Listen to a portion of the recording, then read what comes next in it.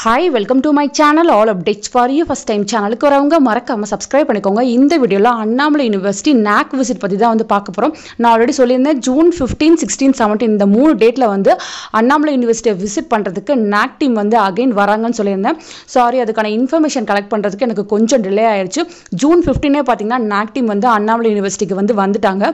Two days பார்த்தீங்கன்னா visit பண்ணிட்டாங்க. இன்றைக்கி வந்து லாஸ்ட் டே வந்து நாக் டீம் வந்து விசிட் பண்ணுவாங்க. ஸோ எல்லா செக்கிங்கும் பார்த்தீங்கன்னா பாசிட்டிவாக தான் போயிட்டுருக்கதா சொல்லியிருக்காங்க. ஸோ நாக்டிம் பார்த்திங்கன்னா பார்த்தீங்கன்னா எல்லா விஷயங்களுமே வந்து பாசிட்டிவாக தான் யூனிவர்ஸில் வந்து சொல்லியிருக்காங்க. டிபார்ட்மெண்ட் வைஸ் செக் பண்ணியிருக்காங்க ஸ்டாஃபோட இன்ட்ராக்ட் பண்ணியிருக்காங்க யூனிவர்சிட்டி சரௌண்டிங் எப்படி இருக்குன்னு செக் பண்ணியிருக்காங்க லைப்ரரி புக்ஸ் எல்லா விஷயங்களுமே வந்து நாக் டீம் வந்து செக் பண்ணிட்டு இருக்கதா சொல்லியிருக்காங்க. இன்னும் யூனிவர்சிட்டியில் பார்த்தீங்கன்னா என்னென்ன விஷயங்கள்லாம் வந்து கொண்டு வரணும் எதெல்லாம் வந்து யூனிவர்சிட்டி வந்து அடாப்ட் பண்ணிக்கணும் நிறைய சஜஷன் வந்து நாக் டீம் கொடுத்துருக்கதாகவும் சொல்லியிருக்காங்க. ஸோ யூனிவர்சிட்டி சைடில் பார்த்தீங்கன்னா இந்த டைம் வந்து நிறைய பாசிட்டிவ் கமெண்ட் வந்திருக்கு. நல்ல கிரேடை தான் வந்து நாங்கள் எக்ஸ்பெக்ட் பண்ணுறோம் அப்படின்ற மாதிரி சொல்லியிருக்காங்க. இன்னைக்கு பார்த்தீங்கன்னா லாஸ்ட் டே நாக் டீம் வந்து விசிட் பண்ணுறது இதுக்கப்புறம் பார்த்தீங்கன்னா அந்த டீம் வந்து ரிப்போர்ட் வந்து ரெடி பண்ணுவாங்க. இமீடியட்டாக பார்த்தீங்கன்னா அவங்க வந்து என்ன கிரேடு என்ன ரிசல்ட் அப்படின்ற மாதிரி சொல்ல மாட்டாங்க.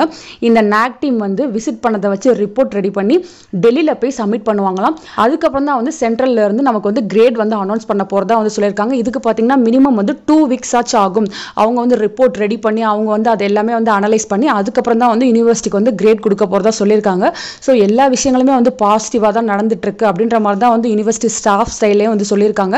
ஸோ நம்மளும் வெயிட் பண்ணி பார்ப்போம் ஃப்ரெண்ட்ஸ் உங்களுக்கு இது ஒரு வேறு ஏதாவது அப்டேட் கிடைச்சாலும் இமீடியட்டாக நான் சொல்கிறேன் தேங்க்யூ ஃபார் வாட்சிங்